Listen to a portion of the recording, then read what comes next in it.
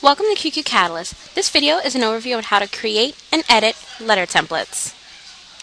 By default, when you enter the templates library, you will see all templates. However, you can view and search by the standard library or by the agency library. To create a template, on the dark gray toolbar, we are going to select Add New Template. Next, you will need to select a layout. For today's class, I'm going to select blank. Within the template builder, you have a workflow.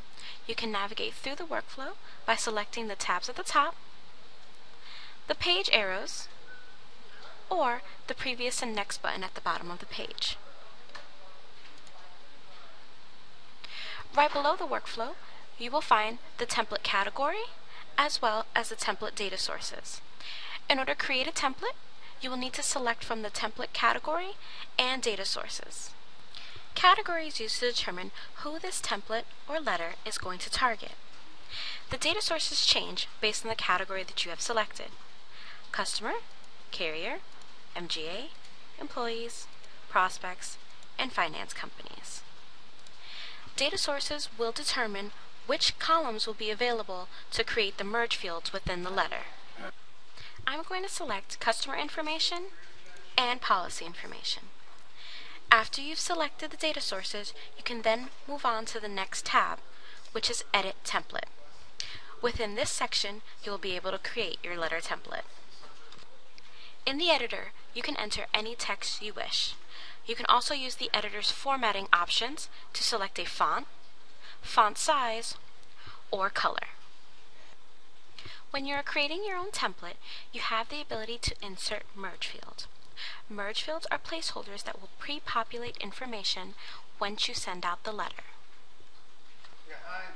To insert merge fields, select the Insert Items tab on the left-hand side of the screen. This will open the Insert Items menu. The Insert Items menu is divided into three sections, Fields, Images, and System. You can use the scroll bar to navigate through or use the search box to enter a keyword to narrow your search. I will use the keyword name.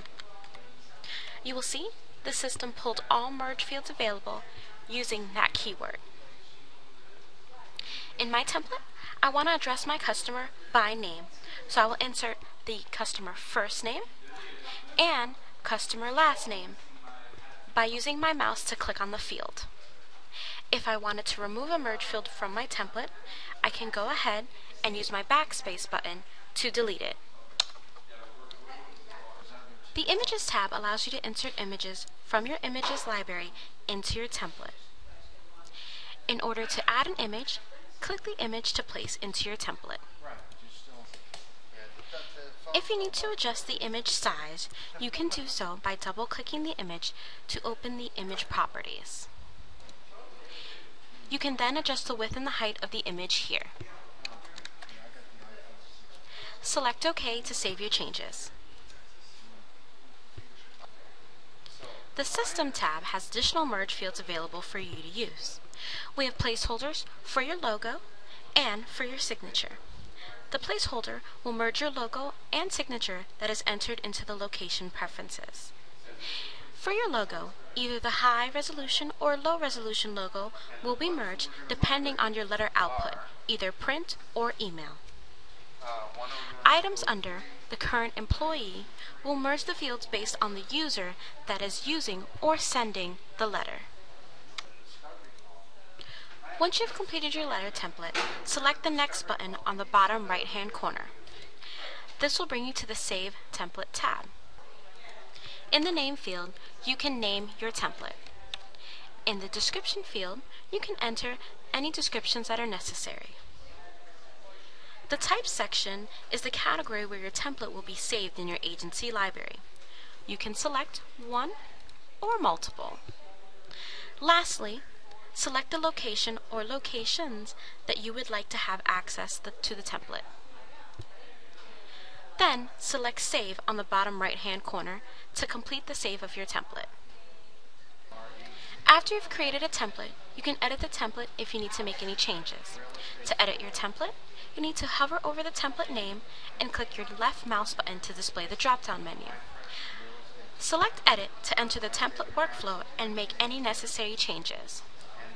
You can also duplicate a template by selecting the Duplicate option. You can also delete the template that you've created by selecting Delete. You'll receive a warning message to confirm that you want to delete your template.